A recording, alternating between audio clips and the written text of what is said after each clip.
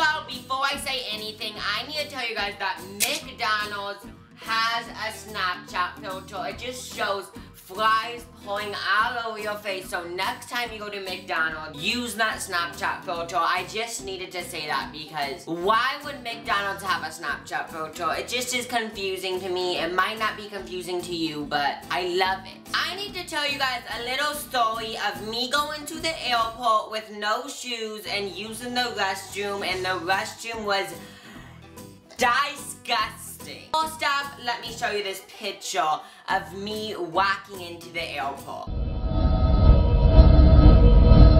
Yeah. In this picture, ignore everything else.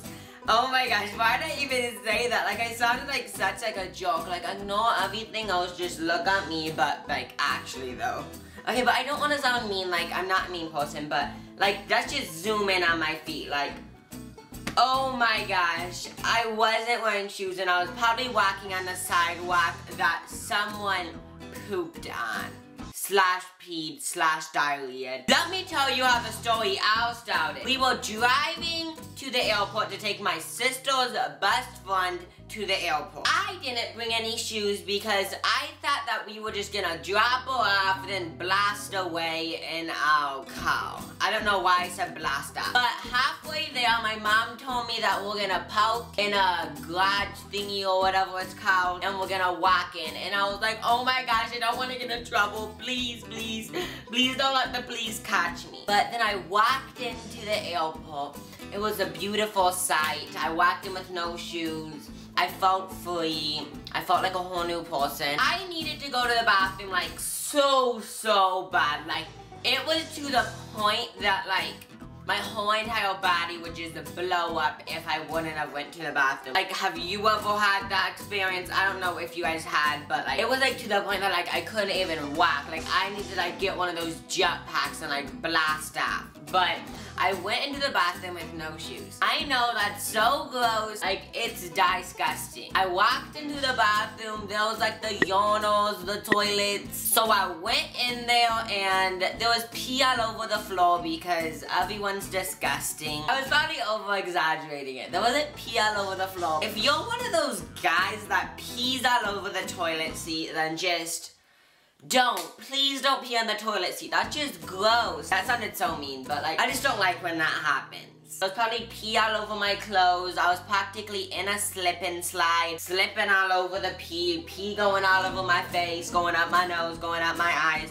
I was like slipping, sliding around the bathroom. And then I washed my hands and I left the bathroom. I was probably like yellow because there was so much pee on me. Over exaggerating again, like it wasn't like a slip and slide, but like I'd like to think that it was like that. No, I wouldn't like to think that it was like that, but it's for like a dramatic effect, like to make it seem like I was drowning in the yawn, but it wasn't like that. Then I left the bathroom and there was like one of those like security guards people or whatever you call them, and I was kind of scared because I thought he was gonna be like leave the building or something, but he didn't. So I just kept on walking on the airport and nobody asked me anything. And that's pretty much how it happened, how I almost died of the yawn. Let me tell you guys another story that goes along with this. Do I even have another story? What was the story? This isn't even a story. I just thought about it one day and I thought it was funny. But wouldn't it be so cool if like everybody had a jetpack and you could just like walk out your door and like fly away? Like just picture it. It would be like this. Hey guys, I'm gonna leave now. Like